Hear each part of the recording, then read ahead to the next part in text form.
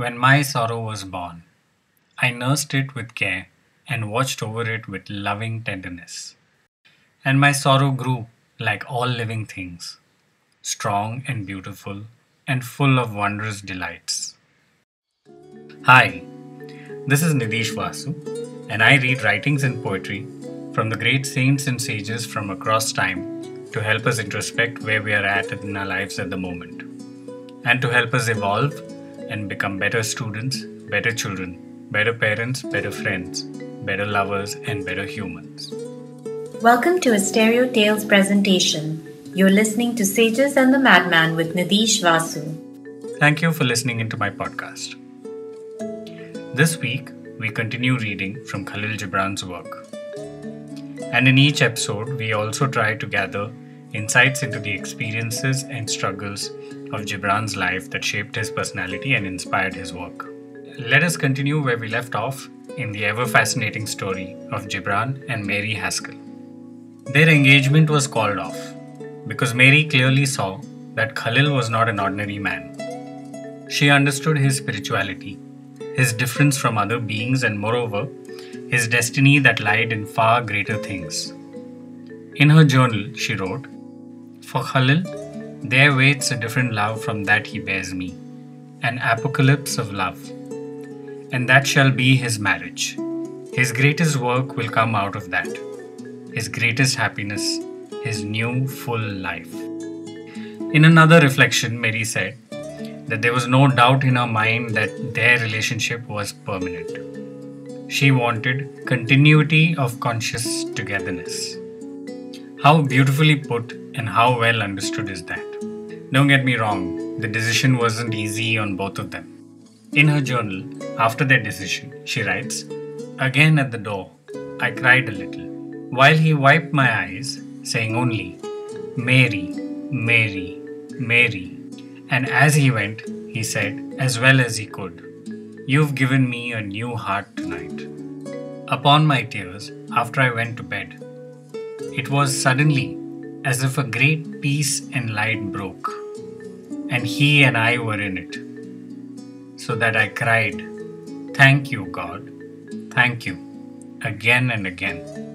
I was so ineffably happy that I have given him up, I realize.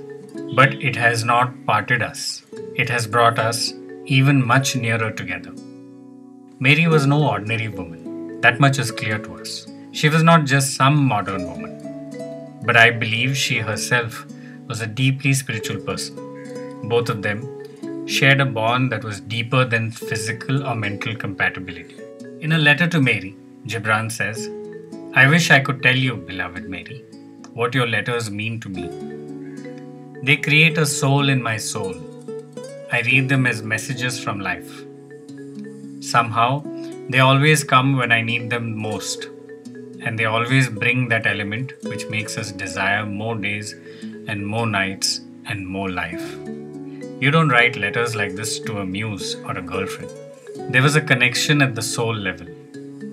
When Gibran decided that he would start writing in English, it was Mary who did his corrections and additions. She spent most of her nights to correct his work. When she went to visit him in New York, he would dictate and she would write. When he had an idea and could not articulate, she would help him come up with the right phrases. Such was her dedication and belief in him. Mary eventually got married to someone else, but her connection to Gibran remained unchanged. She continued to support him and work with him till the very end. I can only sum up their love in one of the shortest letters that Gibran wrote to her.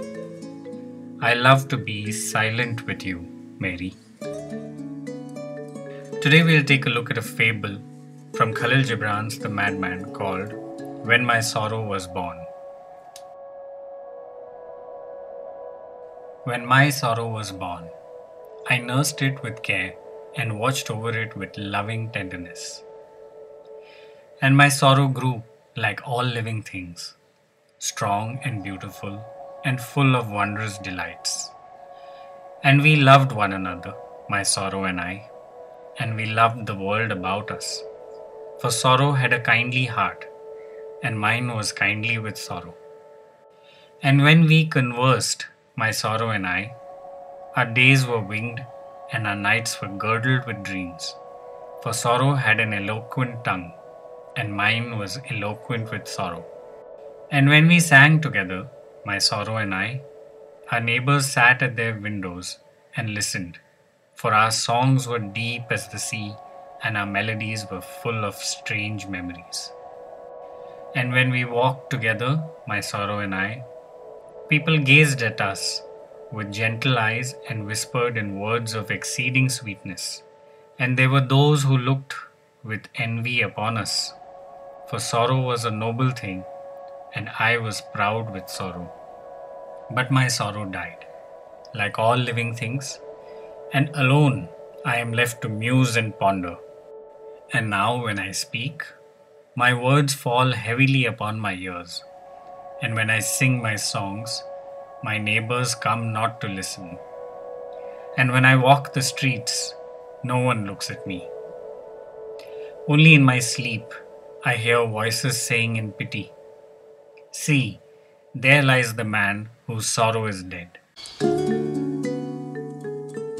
Gibran talks about the delights of sorrow, which is personified like he often does in his works.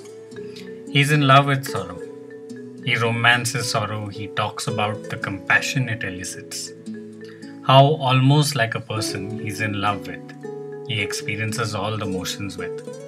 He talks about his journey with sorrow, the experiences of sorrow within us birth, growth, evolution, and finally death. Sorrow awakens compassion, kindness, and empathy within himself. His own emotions are unlocked. He is grown as a person, becomes more understanding, and, and is compassionate. Sorrow has revealed the depths where he has hidden his pain and suffering, and the tales from those depths rise up to the surface. People often relish in others' pain. They also come to understand better their own sufferings. They acquire perspective through the sufferings of others. They thrill in watching the romance between the sad man and his sorrow. Pain is often the root of creative expression. Many a beautiful song were written and composed from pain.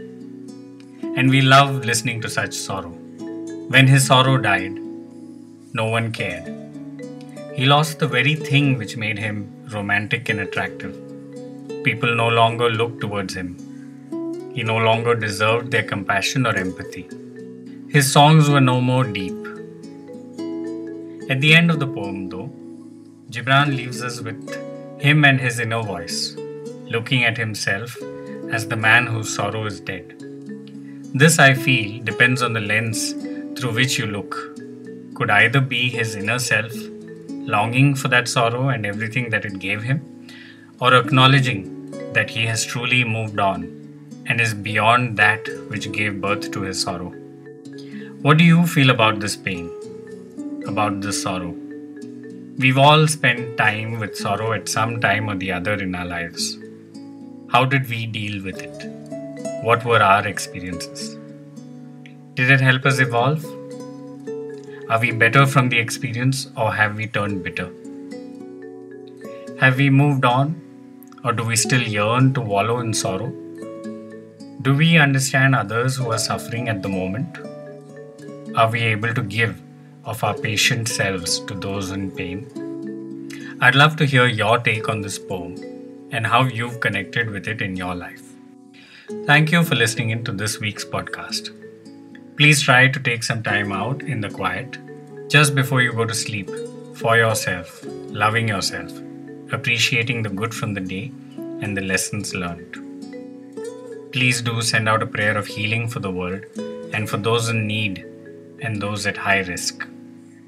See you next week and be safe. If you've enjoyed listening to this podcast, please hit subscribe and make sure you share the link with others who'd enjoy the experience. We'd love to hear from you. You can reach us at the madman at stereotales.com with your thoughts, suggestions, questions, ideas, and more. Please also write in if you'd like to partner with us or if you'd like to feature us on your blog or newsletter. Don't forget to rate our podcast. Thank you for listening and for all your support. You've been listening to a Stereo Tales presentation.